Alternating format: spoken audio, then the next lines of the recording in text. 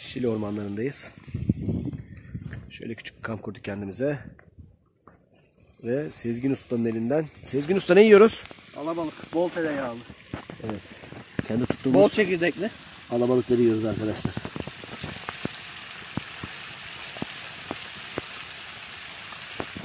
Bol tereyağında güzelce tavada kızartılmış Közde alabalık. Yanında da tabii her zamanki gibi demli bir çay.